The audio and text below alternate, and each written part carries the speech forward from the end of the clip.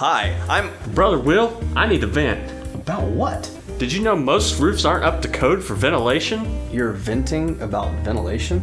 I'm just saying, if your roof isn't properly ventilating, Then all that hot air just gets trapped.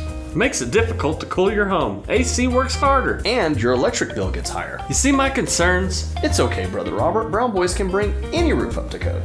Phew, I'm feeling better already. Let's leave the venting for the roofs. Amen.